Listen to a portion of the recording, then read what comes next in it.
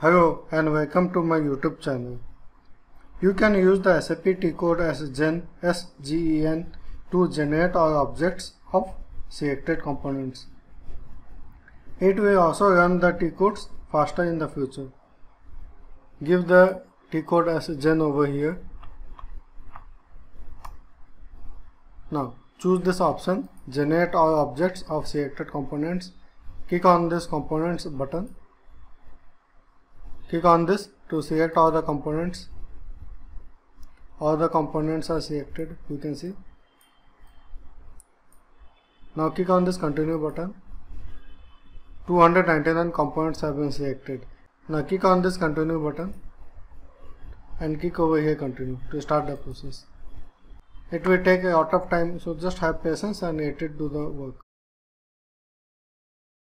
You can contact me for installing SAP IDES 366 and SAP S4 HANA on your PC or server or network or cloud or set up your own SAP server on internet.